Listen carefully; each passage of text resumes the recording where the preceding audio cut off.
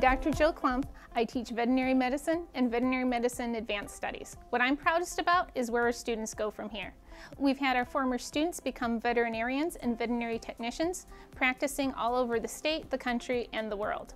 While here, students have the opportunity to earn certifications, college credit, go to clinical sites, field trips, bring in pets, as well as work with some of our animal models. Hi, my name is Jaden Klein and I'm a student in Dr. Klump's Advanced Veterinary Medicine class. I'm so excited that I've been able to experience the opportunities that this class offers. I'm looking into going into veterinary medicine focusing on exotics and I plan on attending University of Michigan Flint this fall to start my Bachelor in Biology. Hi, my name is Kevin Lewis and I'm very glad I joined the Genesee Career Institute program. I've gotten a lot of hands-on experience that can push me to my Community College and transferring into MSU.